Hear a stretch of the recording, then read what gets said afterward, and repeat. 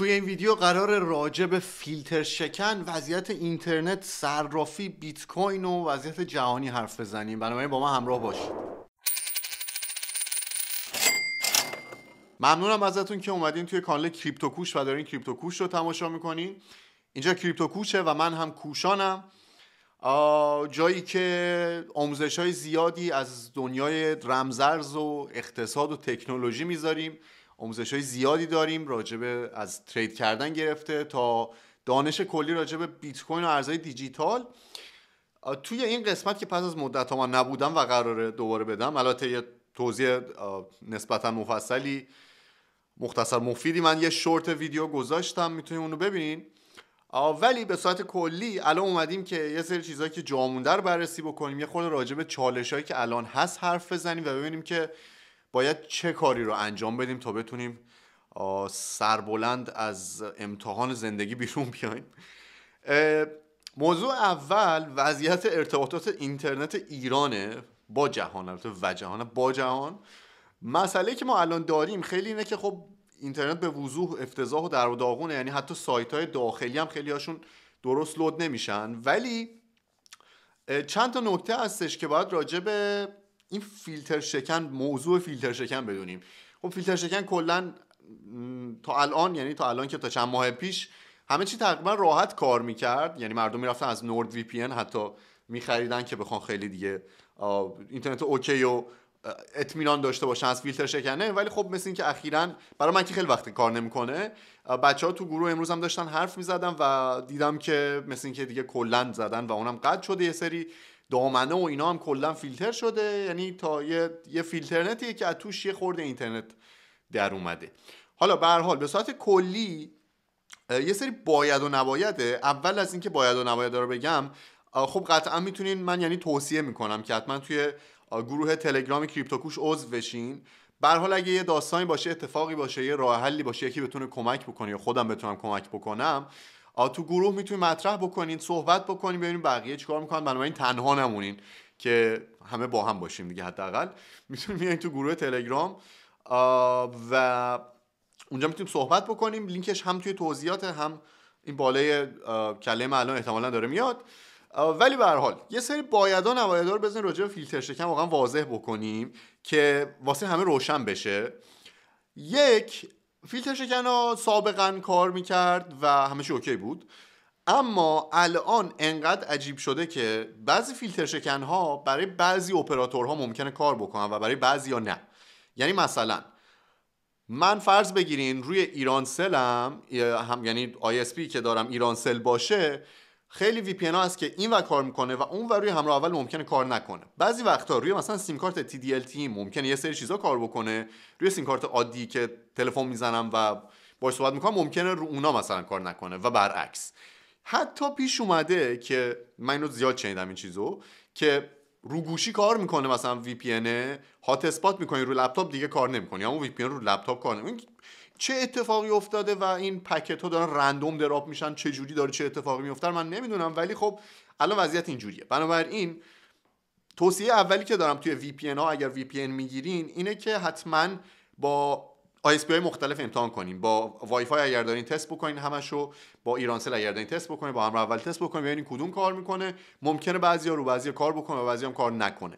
حتی من نمی‌دونم که این اتفاق هست برای شما اومده یا نه. اگر شده بهم بگین. من حتی یه بار سیم کارت ایرانسل رو عوض کردم و فیلتر رو سیم کارت قبلیم کار کرد رو این سیم کارت کار نکرد. دو تا سیم کارت از یه جا یه چیز ولی کار نکرد. به هر حال این به کنار. موضوع دومی که باید راجع به VPN حرف بزنیم امنیت اطلاعاته.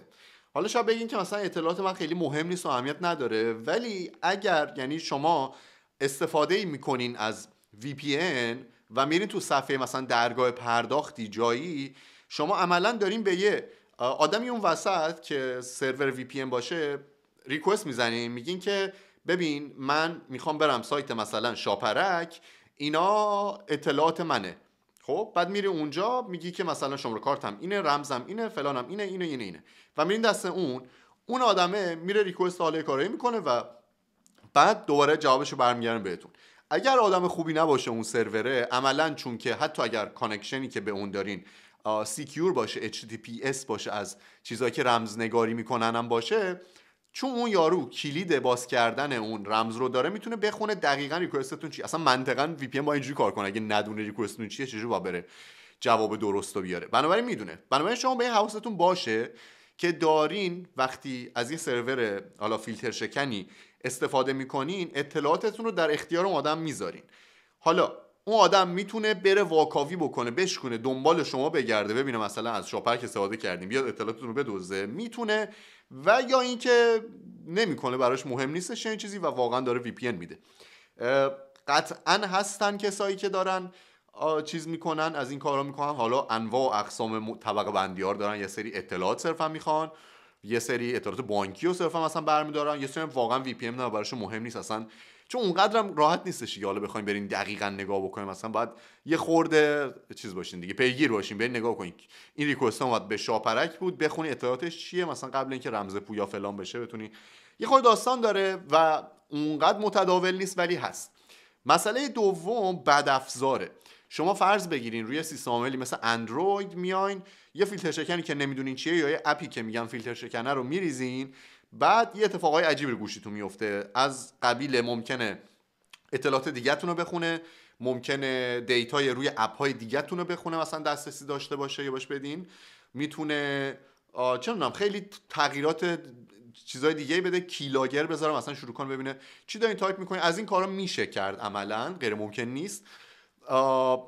و خیلی می‌خوام توصیه بکنم که مراقب باشین که وقتی وی پی استفاده می‌کنین هم خیلی چیز رندوم و پرتی نباشه یا حداقل از یه جایی که می‌دونی یا کسی که معتمده باشه یک یا دو و دو اینکه هر اپی یا هر چیزی رو استفاده قطعا نباید بکنین. چون دیدم اینو میگم یعنی خیلی راجع به این سوال کرده بودن توی مدت. بنابراین حواستون به اینم باشه که چنین اتفاقی الان من سعی کنم براتون واشکافی بکنم که چنین اتفاقی داره در دل یک VPN میفته. بنابراین عملا امکانش هست اونقدر راحت نیست ولی شدنیه.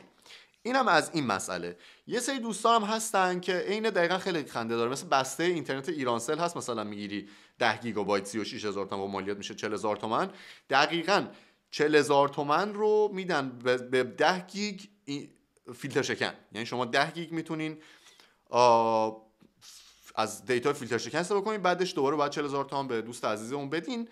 و جالبی موضوع اینه که این دوستان که وی پی میفروشن شما عملا به چهار نفر بفروشین هزینه سروری در اومده که می‌تونیم به خیلی آدم های بیشتری تا نسبت به اون چهار نفر سرویس بدیم این هم دیگه من نمی‌دونم من واقعا چی بگم یا چی از دستم برمیاد که بکنم دیگه. واقعا نمی‌دونم ولی اینجوریه دیگه. سر چی بهشون گفتن؟ کاسبان تحریم اینا هم کاسبان فیلتر شکن قحطی ولی خب از اون ور هم اگر حالا تو گروه می‌تونین سوال بکنین هستش بچه های سر چیز گوشن سر ویدیو هم هست. اگر هم توانایی این رو دارین یا مصرین که خودتون انجام بدین می‌تونین مثلا از یه جایی مثل هتسنر که اسمشو من می‌نویسم براتون هتسنر می‌نویسن آلمانیه.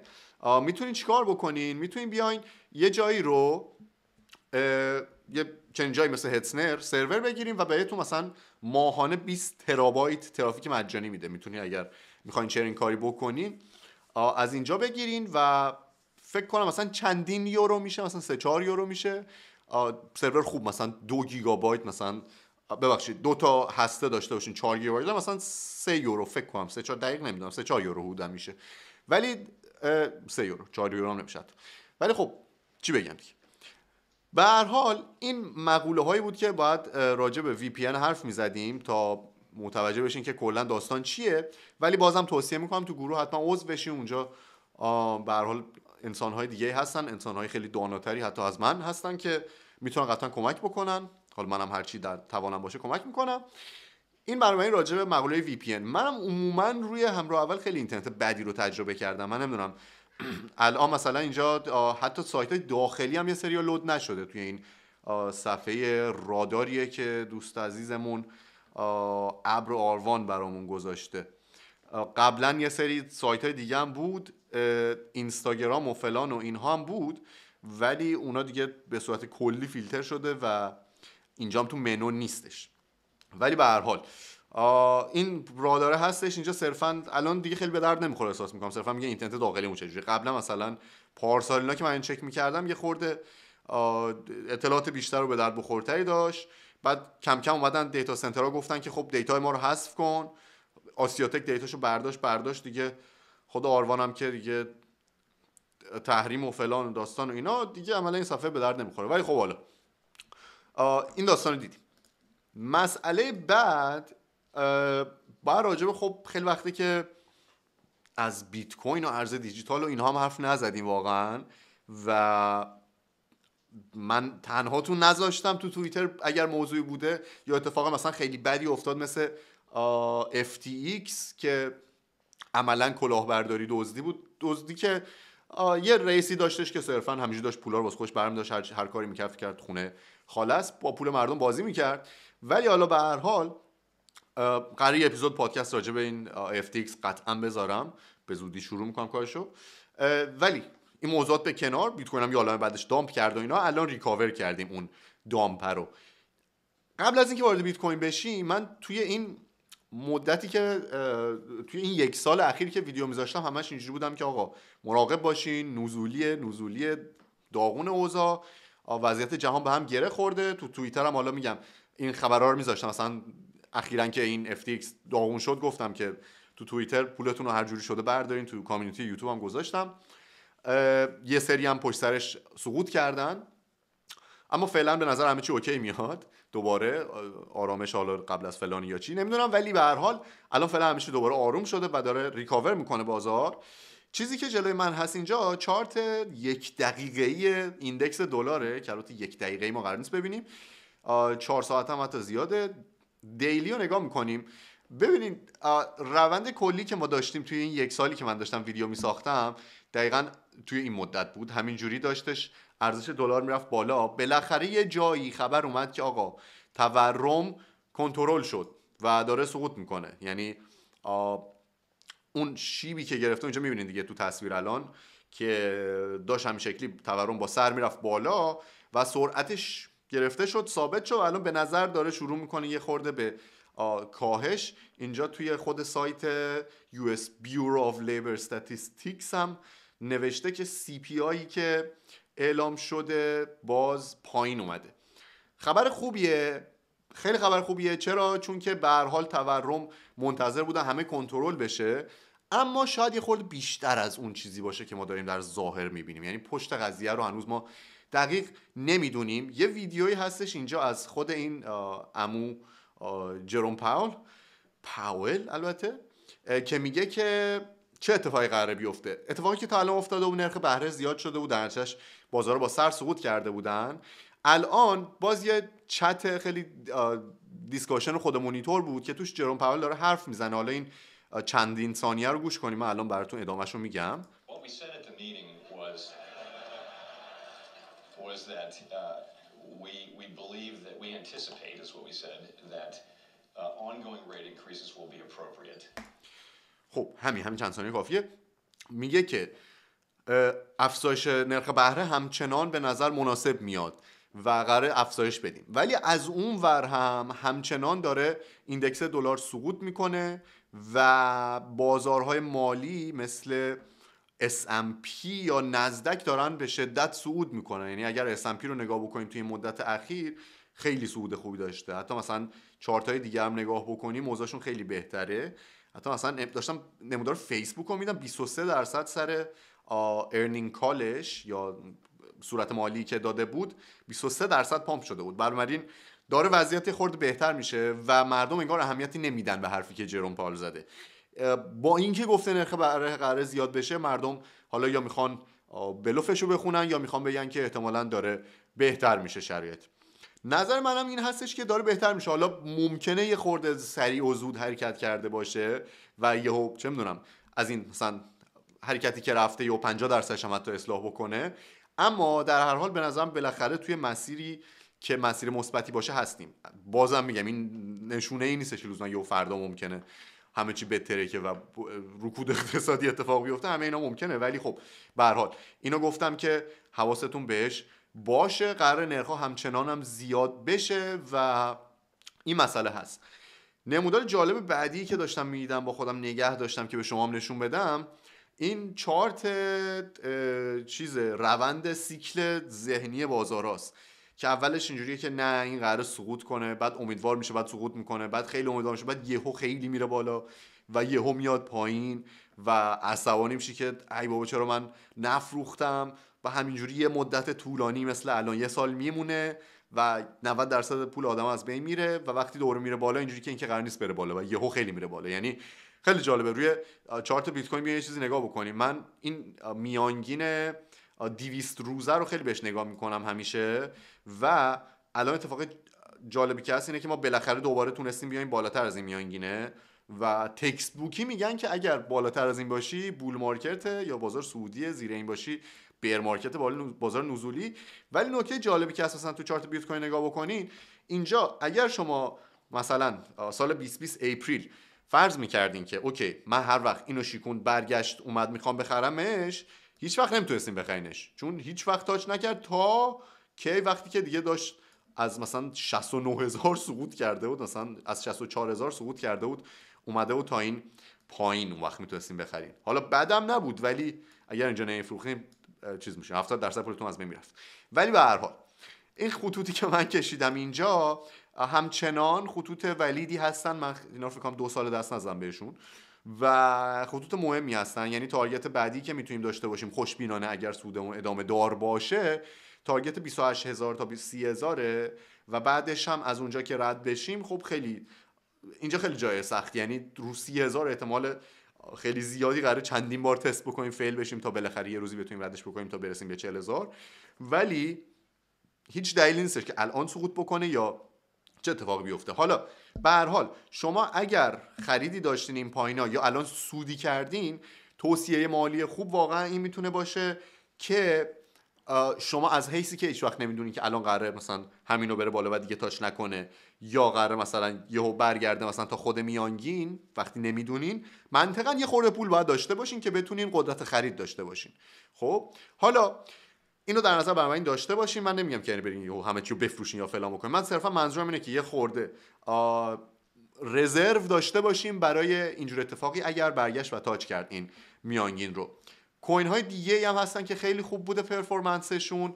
از جمله سری لایه دوم های اتریوم حتی چیزایی که به اتریوم مربوط میشه مثل RPL ما داریم که راکت پوله که فکر کنم قبلا راجبش حرف زدم.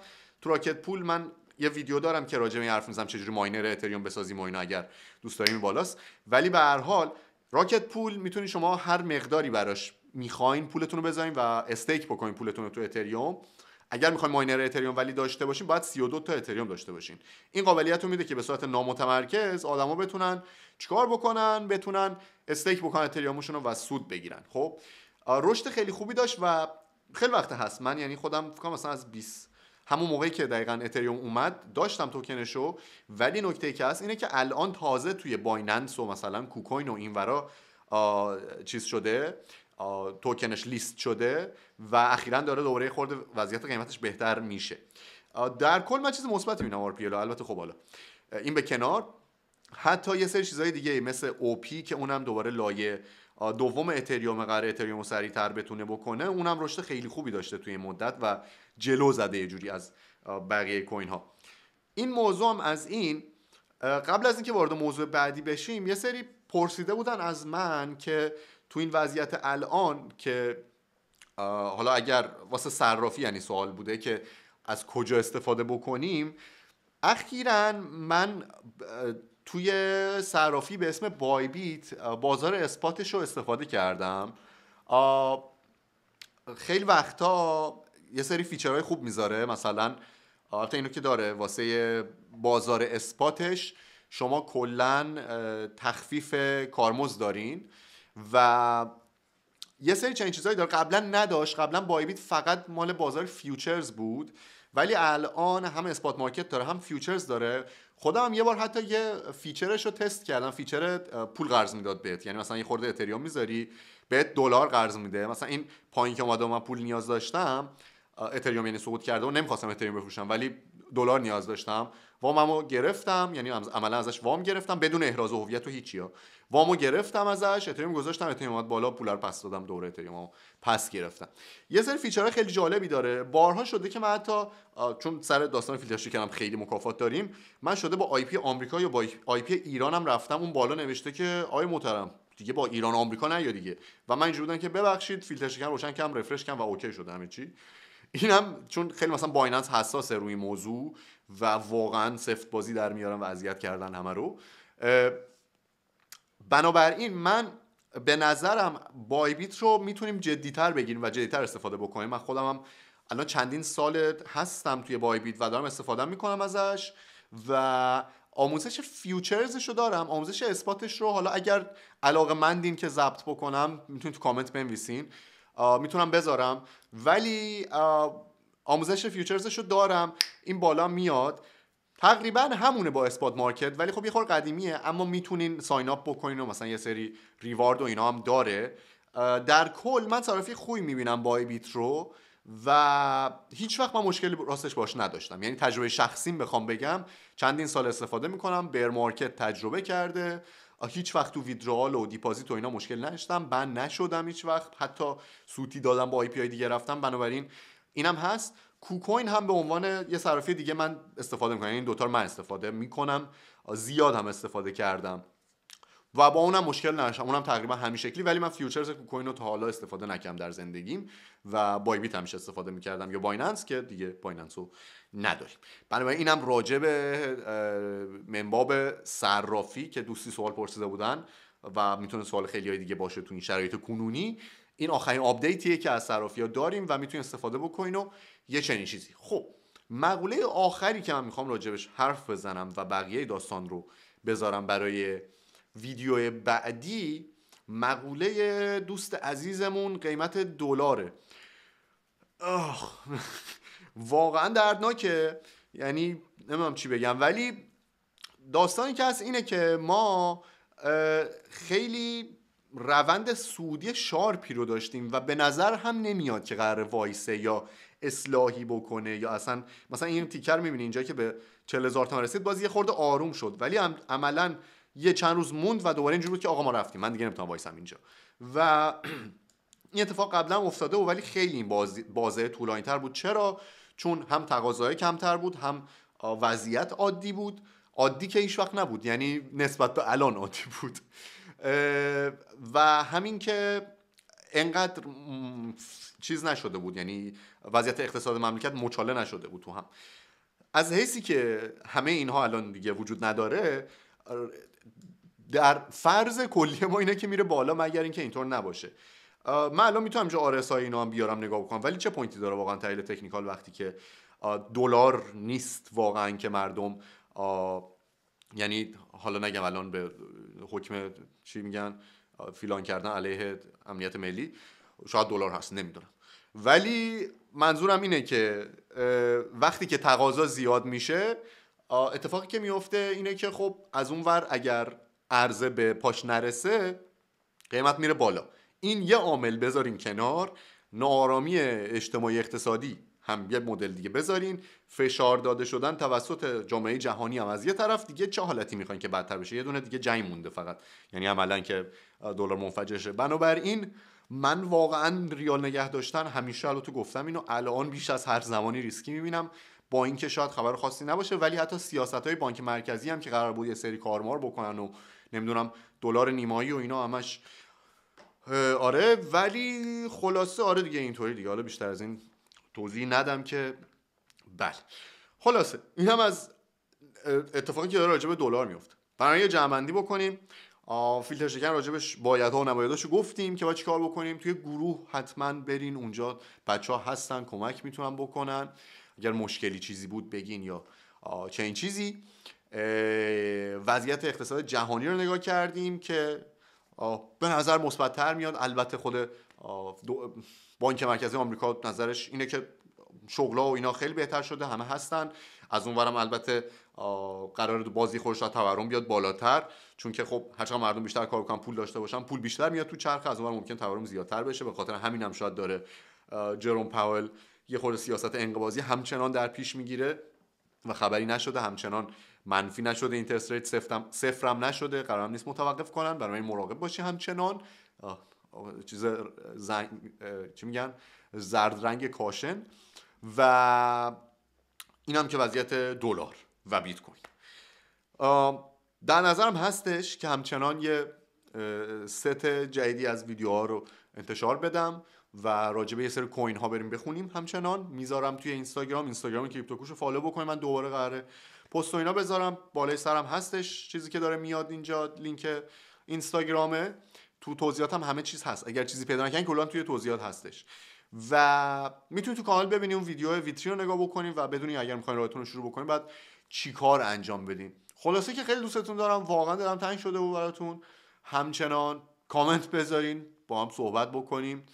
و تا ویدیوی بعدی دوباره میبینمتون. به زودی. خیلی زودتر از چیزی که تا الان طول کشید. خیلی دوستتون دارم و دلتنگتونم و امیدوارم که این ویدیو بتونه زود آپلود بشه. مطمئن نیستم اینترنت اجازه بده ولی امیدوارم زود آپلود بشه و به امشب برسه. اینا چیزایی که من ضبط کردم مال الان ممکن مثلا 4 ساعت دیگه که آپلود شه اینجوری نباشه. یا اصلا فردا شاید آپلود شه خدا می‌تونه. آقا من پرحرفی کردم. مراقب خودتون باشین. دوستتون دارم. فعلا.